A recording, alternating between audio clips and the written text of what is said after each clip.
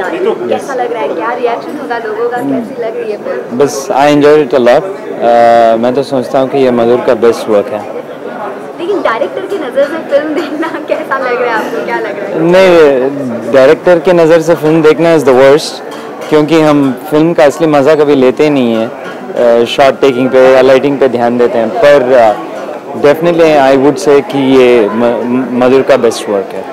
Traffic signal की बात आती है तो क्या जहन में सबसे पहले आपके आता है वेल ऑब्वियसली बॉम्बे में रहकर you can not ignore a traffic signal but it's nice to see that someone's done so much research and captured life around a traffic signal which is still presented in a very entertaining format तो आप आपके साथ कोई ऐसा कोई यादगार experience जो आपको याद हो ट्रैफ़िक सिग्नल पे नहीं नॉट पर्टिकुलरली पर uh, कभी मैं ट्रैफ़िक सिग्नल पे रुकता हूँ तो it's a very depressing side of life so to sort of get to get an inside track on it was very interesting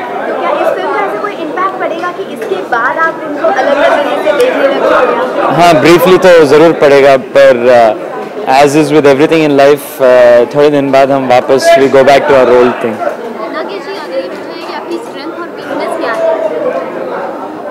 ये it's not fair for me to जज another director like this on that पर like I said it's a very good slice of life जो कहते हैं lot of different characters and the way it's handle it's it's very well done Nagesh ji एक सवाल पूछना है हाँ, बताइए। जब आप घर से बाहर निकल गए वैसे कौन सी चीज़ है जिसको आप लेना नहीं भूलते Hmm.